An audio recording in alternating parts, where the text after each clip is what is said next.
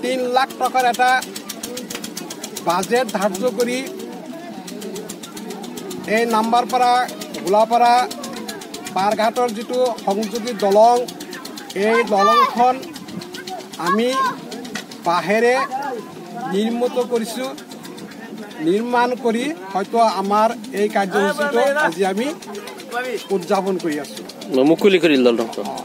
আৰু এই ধাৰটোত আমি উন্মোচন কৰিলোঁ ধাৰটো মুকলি কৰিলোঁ। চিকিৎসালয়লৈ যোৱাৰ কাৰণে যথেষ্ট সুবিধা হৈছিল। যোৱা চাৰি মাহ আগত বানপানীয়ে আমাৰ এই কাঠৰ দলংখন উটুৱাই নিয়াৰ ফলত এই অঞ্চলৰ ৰাইজ তথা স্কুল কলেজৰ ছাত্ৰ ছাত্ৰীসকলে পাৰাপাৰত যথেষ্ট অসুবিধা হৈছে। সময়মতে স্কুল স্কুলত গৈ পোৱা নাই। বেমাৰীসকলক সুচিকিৎসাৰ কাৰণে আমি তৎক্ষণাত চিকিৎসালয়লৈ লৈ যাব পৰা নাই।